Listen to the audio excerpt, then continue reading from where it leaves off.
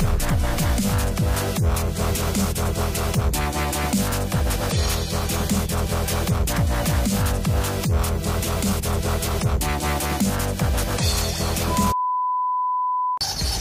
mobil yang berbunyi sungguh sangat mengganggu telinga. Biasanya hal ini terjadi ketika kita setelah mencuci kendaraan atau menyemprot pada bagian mesin. Dan ini baru saja gue lakukan pada mobil ini. Fanbelt setelah gue lakukan pembersihan ternyata menimbulkan bunyi dan berdecit. Langkahnya Solusi yang gue lakukan ialah untuk mengelap pada bagian luar fan belt seperti ini dengan lap kain yang kering.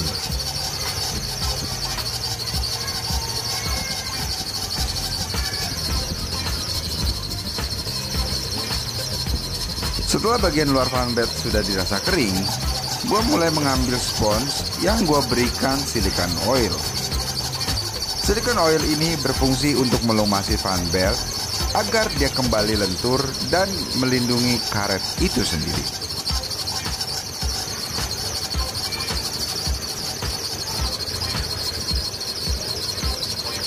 Dalam proses pelumasan ini harap berhati-hati karena kalau nggak berhati-hati bisa jadi tangan kalian akan terselip di bagian fan belt.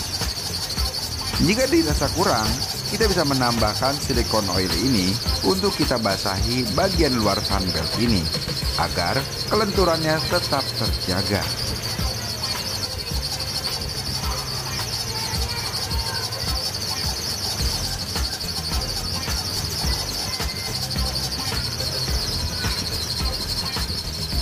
Ternyata bagian luar saja tidak cukup. Kita perlu memberikannya kepada bagian dalam fan belt ini.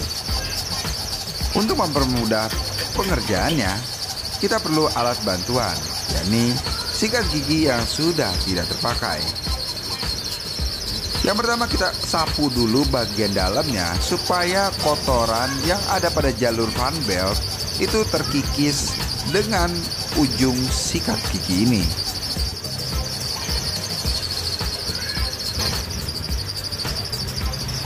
Setelah itu, kita bisa memberikan silikon oil pada ujung sikat gigi ini agar ujung sikat gigi ini menyapu jalur fan belt dengan silikon oil.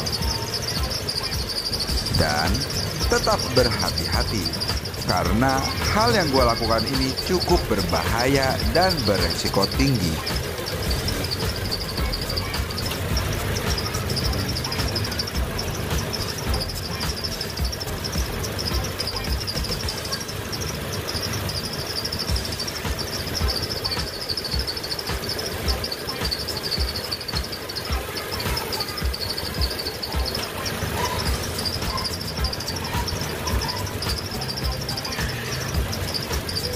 Jika bunyi berdecit ini belum juga hilang setelah dilakukan pemberian silikon oil, kita bisa memberikannya kembali pada bagian rel dalamnya, pada bagian fan belt ini.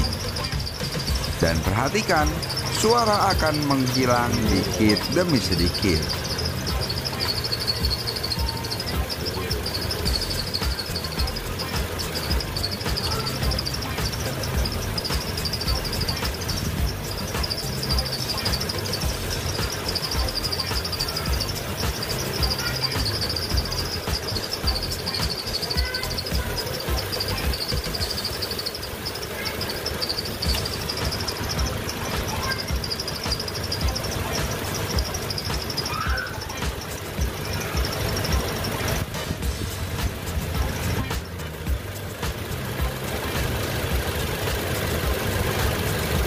Pemberian silikon oil ini bisa kita lakukan sebagai langkah untuk perawatan pada kelenturan karet fan belt.